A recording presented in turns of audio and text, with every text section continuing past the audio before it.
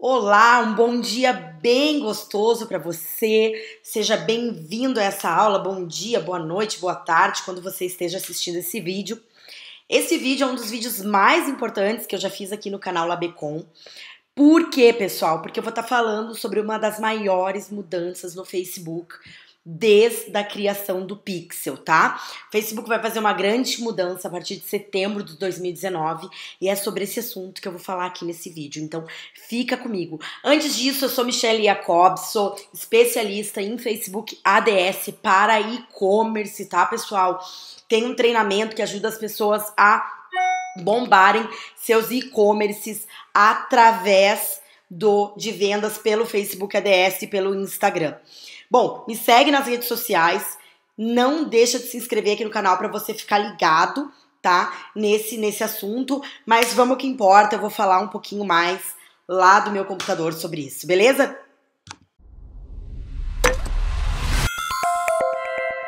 Bom, pessoal, essa grande mudança que o Facebook vai, vai fazer se chama, estão chamando por aí de CBO, que é Campaign Budget Optimization em inglês, tá? Então, eu vou explicar aqui nessa apresentação para vocês o que, que é isso e como usar e como essa mudança vai afetar as suas campanhas daqui para frente. Então, assiste esse vídeo até o final, beleza? Vamos lá!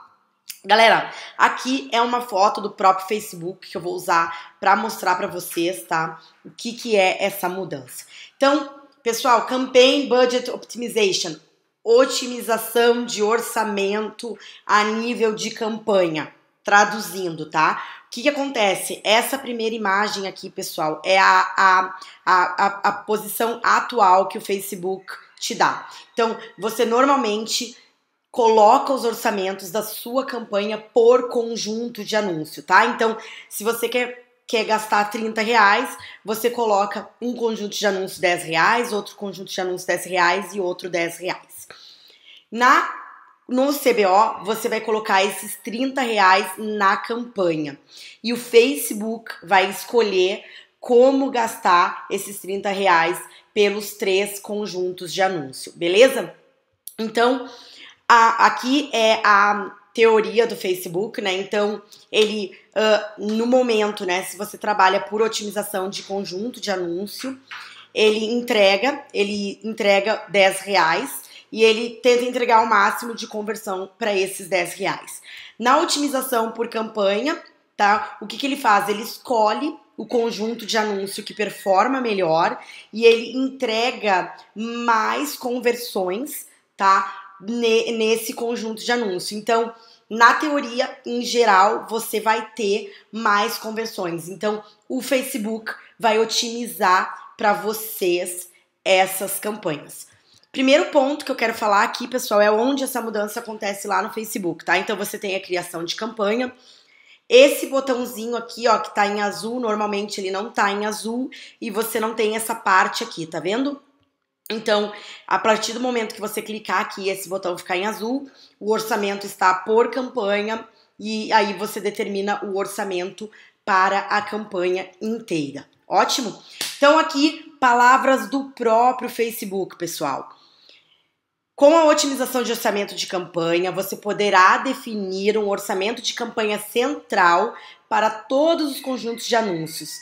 E nós, tá? Eles estão falando, eles, o Facebook, distribuiremos o orçamento em tempo real, de maneira automática e contínua, para que os conjuntos de anúncios com melhor desempenho. Então, o que quer dizer isso, pessoal? Que o algoritmo vai trabalhar por você tá? Ele vai escolher o melhor conjunto de anúncio e vai te trazer mais conversões naquele que melhor performa. É o que acontece, pessoal, já com os anúncios, né? Isso já acontece com os anúncios e essa versão, né, já estava disponível já faz um ano na versão beta. Eu testei há uns seis meses atrás, desisti, tá? Porque não estava dando certo e voltei agora a testar e estou com testes com valores bem estáveis, tá? Então, acredito que a tecnologia tá melhorando. Lembrem-se que o Facebook tem a melhor tecnologia de marketing, de anúncios em marketing digital. Tá? Então, eles têm engenheiros muito profissionais trabalhando para que essas ferramentas funcionem da melhor forma possível, tá? Então ele fala aqui, ó, após setembro de 2019, você ainda poderá controlar os gastos no nível de conjunto de anúncio, usando limites de gastos do conjunto de anúncio. O que quer dizer isso aqui, pessoal? Ele não vai simplesmente desligar totalmente o orçamento a partir de setembro. Ele ainda vai te dar a possibilidade de, de de determinar o máximo de gastos de conjunto e o mínimo. Então ele ainda vai deixar um pouquinho na nossa mão. Eu acredito que ele tá fazendo isso, tá? Porque é uma mudança muito drástica, foi o que eu falei para vocês, é a maior mudança desde a criação do Pixel e as pessoas precisam de tempo para se adaptar. Então ele ainda vai deixar um pouquinho de máximo e mínimo de gastos na nossa mão, tá? E a gente vai poder determinar um limite e ainda dá para ter um controle tá? Um pouco desse controle ainda vai estar na nossa mão, não vai estar 100% do, no Facebook. Então, se você definir um limite de gastos mínimo, o Facebook tentará gastar esse valor. Se você definir um limite de gastos máximo, o Facebook não ultrapassará o seu valor. Então, o que, que ele está dizendo com isso? Vou voltar aqui nesse slide, tá? Se você determinar que o máximo aqui seria R$ reais, tá? Para um conjunto de anúncio, ele só vai gastar isso. Porque o que, que pode acontecer, pessoal? Vamos dizer que você tem esses 30 reais, ele pode colocar esses 30 reais só num conjunto de anúncio e não distribuir entre os outros se o algoritmo determinar que aquele conjunto de anúncio merece, tem potencial para trazer maiores conversões. É difícil para a gente que trabalha tanto tempo gerenciando os orçamentos do conjunto de anúncios, confiar 100% na ferramenta. Então, acredito que é por isso que eles ainda estão dando essa possibilidade de a gente com, uh, determinar os máximos e os mínimos de gastos. Galera, se esse conteúdo é muito avançado para você, eu sei, é um monte de informação, mas você precisa já ficar de olho, porque essa mudança vai acontecer em setembro e você só tem uma chance. Abraçar essa mudança ou não, tá? As mudanças acontecem e você tem que se adaptar. Então não adianta ficar chorando que tudo mudou. Lá no treinamento Labecom, a gente vai fazer um acompanhamento com os alunos, tá? A gente já tá atualizando todo o treinamento para que isso fique 100% acurado, para que ninguém perca o timing desse negócio, tá? Então, a gente já tá fazendo muitos testes e trabalhando para trazer essa informação em primeira mão para vocês, para nenhum dos alunos se perderem. Para entender como a otimização do orçamento da campanha distribui seu orçamento, preste atenção ao número total de eventos de otimização para sua campanha e ao custo médio por evento de otimização do nível de campanha, ao invés de se atentar ao nível de cada conjunto de anúncios. Então, pessoal, agora você não vai mais trabalhar por resultados do conjunto de anúncio. O que importa é o resultado da sua campanha. As coisas vão mudar, a gente não vai mais ficar parando conjuntos de anúncios. A gente para uma campanha, porque a partir do momento que a gente parou um conjunto de anúncio, vai resetar o pixel e ele vai ter que entender de novo todos os dados para entender qual conjunto de anúncio trabalha melhor ou não. Então, o que, que muda, pessoal? Muita coisa vai mudar e principalmente a estrutura, tá? De campanha irá mudar. Você vai ter que pensar de forma um pouquinho diferente a partir de agora, tá? Você não está mais trabalhando por conjunto de anúncio, você está trabalhando por campanhas. Quem trabalha com o Google, com os Native Ads, sabe que já funciona desse jeito, tá? Então, o que, que eu te aconselho? Agrupar públicos parecidos ou de tamanhos parecidos, tá? Segundo o Facebook, eles vão ter inteligência suficiente para determinar, tá, públicos até bem bem bem parecidos, bem diferentes, mas eu ainda não confio 100%, tá? Então eu estou preferindo agrupar públicos de tamanhos parecidos dentro de uma campanha e públicos parecidos dentro de uma campanha. Se eu trabalho com público aberto, eu faço uma campanha de público aberto. Se eu trabalho só com Instagram, eu faço uma campanha por Instagram. Então, ao invés de mais conjuntos de anúncios, você vai ter várias campanhas. Ainda não sei te dizer qual vai ser a relação de competição lá no leilão dentro do Facebook. Eu acho que isso é uma coisa que também vai influenciar. Ainda é tudo muito novo, eu tô testando e eu tô trazendo aqui para vocês as minhas primeiras percepções, tá? Remarketing separado de conversão, galera. Muito importante isso, tá? Campanhas por cada tipo de conversão. Também é extremamente importante para você não confundir o pixel, tá? Porque se você tá pedindo compra, o preço é completamente diferente de um add to cart. E aí você tá pedindo resultados diferentes dentro da mesma campanha.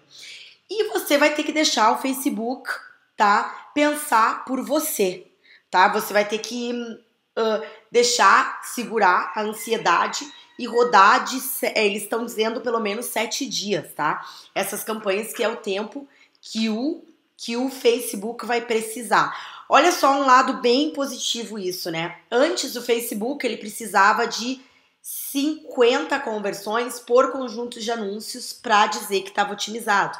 Agora você levando isso para campanha, esse número vai para a campanha.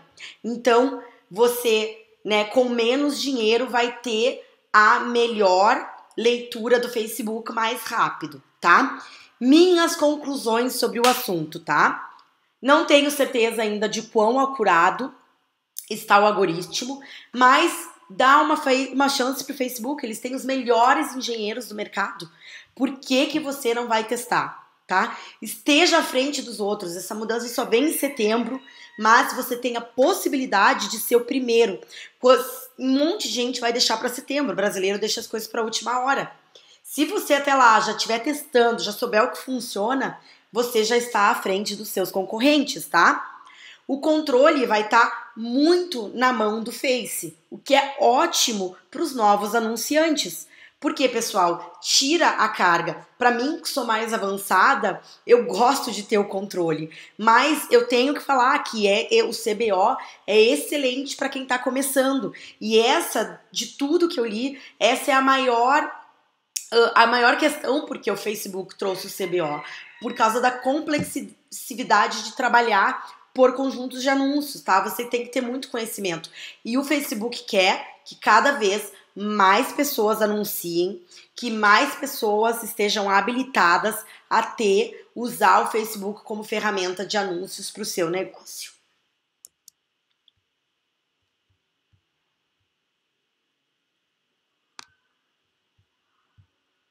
Bom, galera, então basicamente é isso que eu queria trazer para vocês. Eu sei que é bastante conteúdo, eu sei que é muita coisa. Não te apavora, tá? Tem pouca literatura ainda na internet, como eu falei mas lá dentro do treinamento Labecom, a gente já está começando a dar todo suporte para os alunos nesse sentido. Não conhece o treinamento Labecom? O link está aqui embaixo na descrição desse vídeo. Corre lá que as vagas estão abertas até o dia 7 de maio, no momento que eu estou gravando esse vídeo, tá? E a gente não sabe quando vai abrir o carrinho de novo.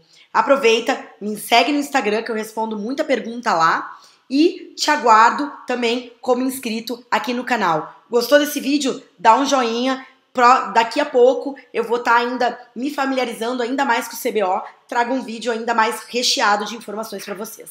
Obrigada e até o próximo.